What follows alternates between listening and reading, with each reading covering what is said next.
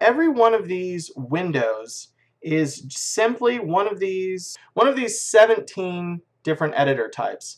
And for instance, say we we could actually change every one of these all to the 3D view if we were insane for some reason and wanted them all to be 3D views for some reason because we're nuts. Uh, and then you can all use every one of them uh, in that way. Likewise, they're all scalable. They can be moved, scaled, and positioned in, in uh, pretty much any way you like. And so I've now made a mad world of craziness. So I'm going to go to File and New and Reload Startup File. But the whole point of that is to show you that um, all of these windows can be changed. You can also add as many windows as you like. Um, for instance, over here, I have this, uh, which is by default in Blender. This is your properties right here. Uh, each window consists of these little uh, bottom diagonal lines here and these top ones. And what this allows you to do is if you click on them, if you click and drag, you can create another window.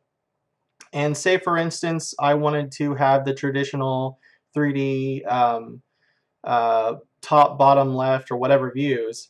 I dragged on that to create that window. I'll drag on this one to pull one down here. Then I'll hit 1 to go into front here, and I'll, I'll hit C3 to go into uh, right view here, and and then I'll just have my perspective view over here. So, of course, anything I do I'll hit G to grab this here. Of course, you can see it going on in all the windows. Uh, if you want to collapse those windows, you simply uh, click on the little diagonal lines again and drag it over the window you want to collapse. And in that way, you can collapse as many windows as you want and have as many as you want. So I could just drag a bunch of these horizontally out like this and uh, keep getting a bunch of views. You can also create them through the bottom diagonal arrows also. But I'm going to uh, drag these over and collapse them because I don't want a million different crazy views.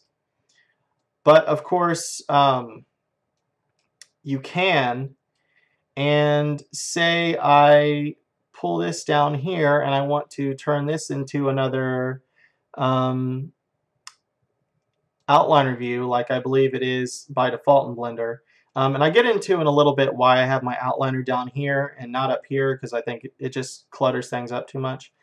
But the idea is that Blender is just a series of uh, the one of these 17 different editor types and we'll uh, go over all of these uh, or most of them throughout this series and we're gonna get a, uh, some mastery over this thing but it's it's a pretty good to know that uh, Blender can be customized however you want.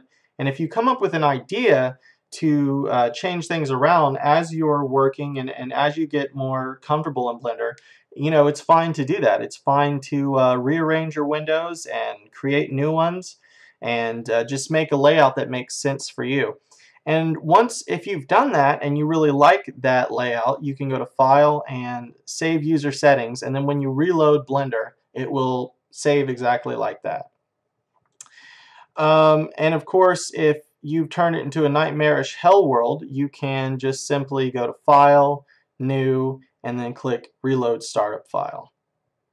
But I'm going to go ahead and go back into Front View and duplicate this, Control to move it over, select that, put D, Control to move it over, and get these cubes uh, set up how I had them before.